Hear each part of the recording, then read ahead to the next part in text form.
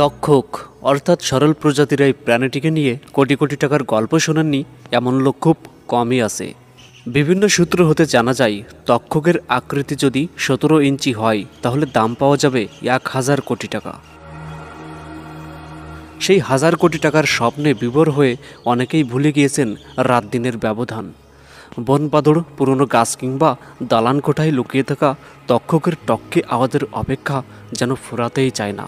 সেই কোটি টাকার অপেক্ষায় থাকা একজন তক্ষক শিকারের তথ্য মতে জানতে পারলাম তক্ষক দিয়ে নাকি ক্যান্সারের মূল্যবান ঔষধ তৈরি হয়। তক্ষক যদি ঘরে থাকে, তাহলে সহসাই বড়লোক খাওয়া যায়। আরও জানতে পারলাম তক্ষকের মাথার মধ্যেকার ম্যাগনেটের দাম নাকি এক কোটি টাকা। তক্ষকের গল্প যেন হাজার কিংবা লাখে নয় কোটি টাকার গণ্ডি পেরিয়ে কি আছে এই তক্ষকের মধ্যে? কেনই বা এত দাম? আসুন সেই প্রশ্নের ধারাবাহিকতাই জানার চেষ্টা করি। তক্ষকের মধ্যে কোটি টাকার রহস্য কী? তক্ষকের ইংরেজি ও বৈজ্ঞানিক নাম গেক্কো। তক্ষক একটি গেকোনেটি গিরগিটি প্রজাতির প্রাণী। পিঠের দিকে ধূসর, নীলচে ধূসর বা নীলচে বেগুনি ধূসর রঙের সংমিশ্রণ। সারা শরীর থাকে লাল ও সাদাটে ধূসর ফোটায়। পিঠের সাদাটে ফোঁটাগুলি পাশাপাশি সাত থেকে আটটি ছোট সারিতে বিন্যস্ত। কম বয়সী তক্ষকের লেজে পরপর গাঢ় নীল প্রায় সাদা রঙের বলয় রয়েছে। মাথা অপেক্ষাকৃত বড়, নাকের ডগা ও চোখা ভোতা, চোখ বড় বড় মণি ফালি গড়নের, লেজ সামান্য নোয়ানো। এরা কীটপতঙ্গ, ঘরের টিকটিকি ছোট পাখি ও ছোট সাপ খেয়ে থাকে। ছাদের পাশের ভাঙ্গা ফাঁক ফোকর বা গর্তে অথবা গাছে এরা বাস করে। অনেকে ভুলক্রমে তক্ষককে বিষাক্ত সরীসৃপ হিসেবে চিহ্নিত করে। তক্ষক দক্ষিণ এশিয়ায় বিপর্যস্ত একটি প্রাণী। বাংলাদেশ সহ Myanmar, Thailand, Vietnam Laos Kampuchea, Malaysia, Indonesia, চীন ও ফিলিপাইন্স সহ বিভিন্ন দেশে প্রায় ছয়শো প্রজাতির তক্ষকের বাস লক্ষ্য করা যায়। বাংলাদেশে প্রায় দুই প্রজাতির তক্ষক দেখা যায়। এশিয়ান প্রাচীন আয়ুর্বেদিক চিকিৎসা ও আধুনিক চিকিৎসায় হাঁপানি, এইডস, ক্যান্সারের ওষুধ তৈরিতে এটি ব্যবহার করা হচ্ছে বলে তথ্য পাওয়া যায়।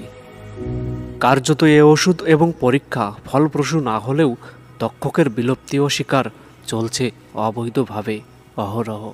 যেখানে টাকার প্রলোভন, সেখানে বৈজ্ঞানিক বাণী অত্যন্ত নিরুপায়। তক্ষক নিয়ে চলছে চরম প্রতারণা। রাতের আধারে একদল প্রতারক চক্র ঘুরে বেড়াচ্ছে বনবাদার কিংবা দালান কোঠার আশপাশে। তক্ষকে মেতেছে গ্রামের কিছু অর্থলোভী মানুষ। কেউ কেউ তক্ষকের কঙ্কাল বিক্রি করে প্রতারণার মাধ্যমে হাতিয়ে নিচ্ছে লাখ লাখ টাকা। এ যেন রূপকথার গল্পের মতো। তক্ষকের আড়ালে লুকিয়ে আছে একদল ক্ষমতাসীন চক্র। রীতিমতো তারা ধরাছোঁয়ার বাইরে থেকে হাতিয়ে নিচ্ছে লাখ লাখ টাকা। তেমনই প্রসঙ্গে প্রশাসনিক অভিযানে অনেকেই হয়েছেন নগদ অর্থ এবং তক্ষক সহ গ্রেপ্তার। তবুও যেন কমতেই চাইছে না তক্ষক চক্রের মাফিয়া গডফাদার আর তক্ষক সংগ্রহের কর্মীগুলো। তবে কি তক্ষকেই লুকিয়ে আছে কোটি কোটি টাকা? আসুন এবার জেনে নিব তক্ষকের শরীর নিয়ে গবেষকরা কি বলছে। যশোর বিজ্ঞান ও প্রযুক্তি বিশ্ববিদ্যালয়ের পরিবেশ বিজ্ঞান ও প্রকৌশল বিভাগের সহকারী অধ্যাপক ডক্টর মোহাম্মদ মাহফুজুর রহমান কালের কণ্ঠকে বলেন তক্ষকের দাম লাখ লাখ টাকা নয়, এর দাম পাঁচ দশ টাকাও হবে না।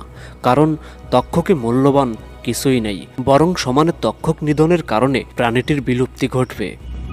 যশোর সরকারি এম এম কলেজের প্রাণীবিজ্ঞান বিভাগের অবসরপ্রাপ্ত প্রধান প্রফেসর অসিত বরণ ভৌমিক বলেন, এরা পোকামাকড় খায়, কিন্তু এরা মহামূল্যবান প্রাণী নয়। তক্ষক বিলুপ্ত প্রায় প্রাণী।